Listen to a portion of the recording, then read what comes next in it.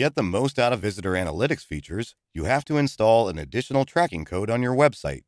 It's very easy to do it, and it will give you access to amazing features like heat maps, which enable you to identify what parts of your website visitors interact with the most and the least, or visitor recordings that enables you to record and play real videos of what your visitors actually do on your website.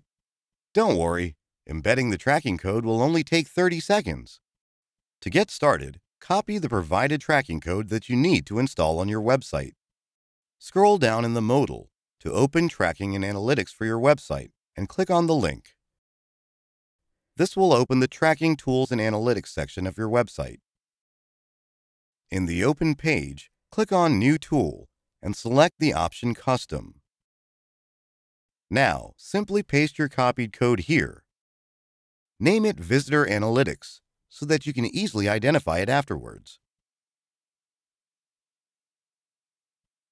Select Add the code to all pages and load code once.